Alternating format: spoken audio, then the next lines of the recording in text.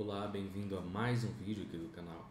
E hoje nós vamos aprender uma coisa muito bacana, que é como converter um projeto feito em Laravel Zero para um binário, como compilar esse projeto. E a gente vai fazer isso utilizando o Franken PHP. É, primeiramente, o que, que vai acontecer quando a gente é, converter esse projeto para um binário para um executável? O normal do, do Laravel Zero é o seguinte, a gente cria o nosso projeto, se a gente vai rodar em alguma máquina, a gente tem que ter o PHP e todas as dependências desse projeto, por exemplo, ah, PHP XML, PHP SQLite, enfim. Todas as dependências do nosso projeto tem que estar instalado na máquina. E com esse processo a gente vai criar um executável do, do nosso programa feito com Laravel Zero. Então você não vai precisar de ter o PHP instalado na máquina. Ele já vai vir junto com o Laravel Zero. A única coisa que você vai precisar é copiar esse arquivo para outra máquina e executar e vai estar tudo pronto para você. Você não precisa mais de ficar instalando PHP, nem suas dependências, nem Composer, nem nada mais.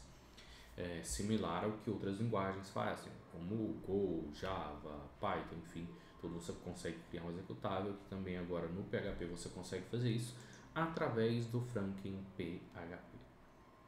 Vamos ver então como que a gente pode fazer isso.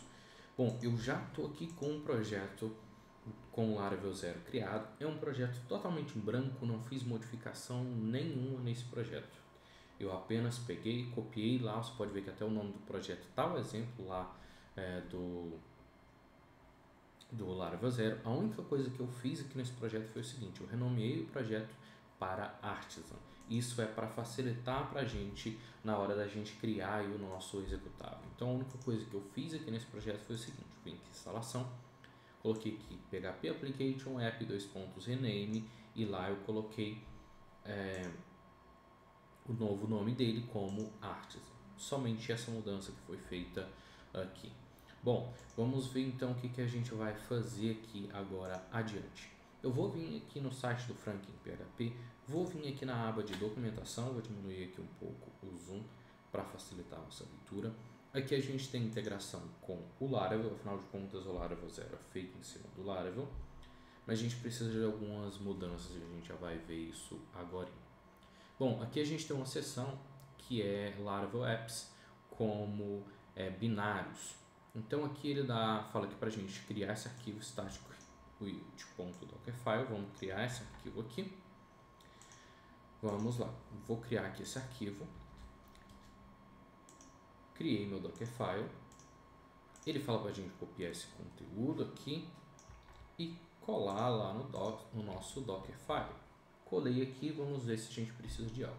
Aqui você pode ver que ele está copiando o nosso .env.example para a, o arquivo .env a gente, por padrão, não utiliza o arquivo .env é, em aplicações com Laravel Zero. Você pode instalar se você quiser, mas da forma que você acabou de instalar, como eu fiz aqui, não existe esse arquivo. Então, se eu for executar isso aqui, vai dar erro. Então, eu vou remover essa linha.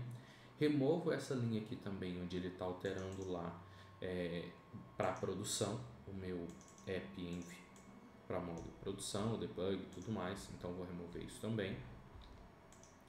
É, aqui ele instala as dependências lá do Compose, ele instala ignorando qualquer é, requisitos de plataforma, por exemplo, ah, se aqui se eu tivesse é, como é, obrigatoriedade que o PHP XML, ele ignoraria isso, o PHP é, SQLite, ele, ele iria ignorar esses requisitos, apenas instalaria os pacotes.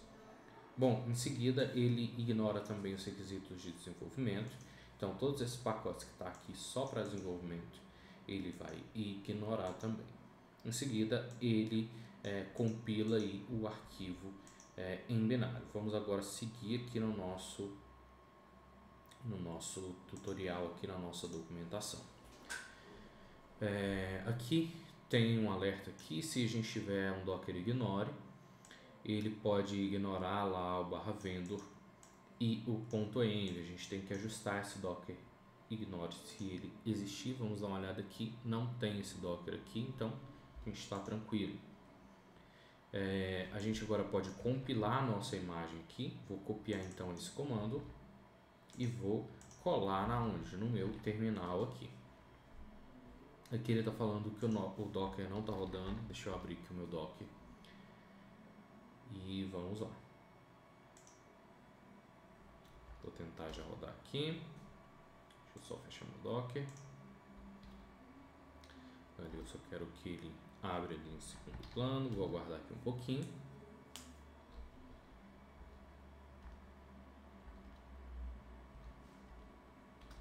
Até ele terminar de executar. Vamos lá.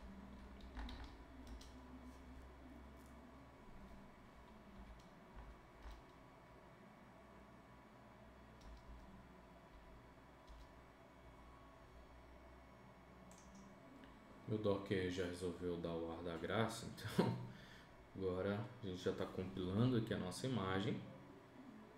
Enquanto ele compila, a gente vai ver o próximo passo aqui. Agora o próximo passo é a gente extrair o arquivo binário que foi gerado lá na nossa imagem, já copiei ele o comando, para a gente poder executar aqui agora.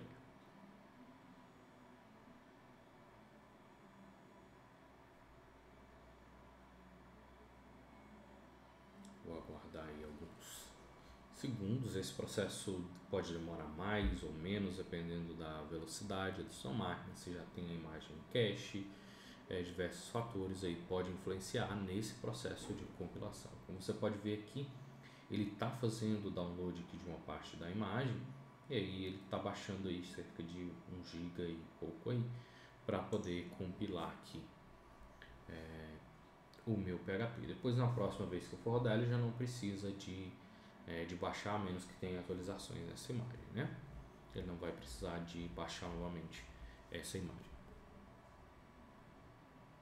Já está quase finalizando o download. E aí ele já prossegue com o processo de compilação da minha imagem. Já finalizou o download.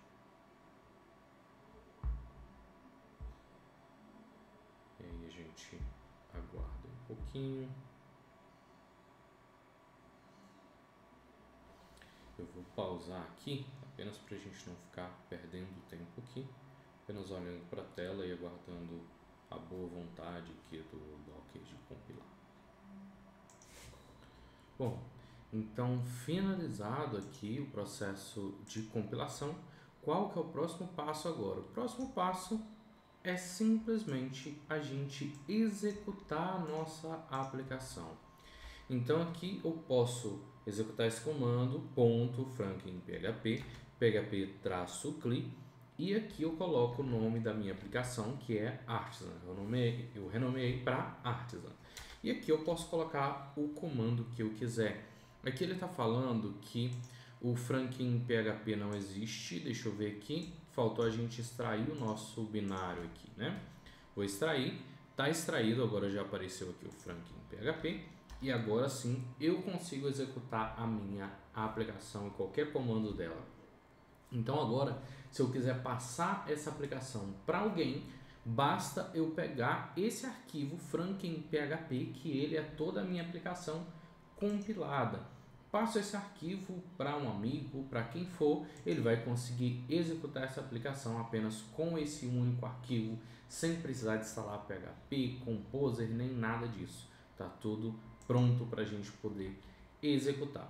Basta executar dessa forma, ponto barra franklin php ou o nome que você quiser renomear esse arquivo binário, php-cli artisan, que é o nome da nossa aplicação. Se você não tivesse renomeado, seria é, application. E aí você coloca aí o comando que você quiser para executar, por exemplo, o padrão aí que vem com a imagem, com a imagem não, né? Uma mensagem aí do Laravel que é o Inspire. E aí qualquer outro comando que você criar dentro da sua aplicação, você pode executar. Então é isso, eu vou ficando por aqui e até a próxima.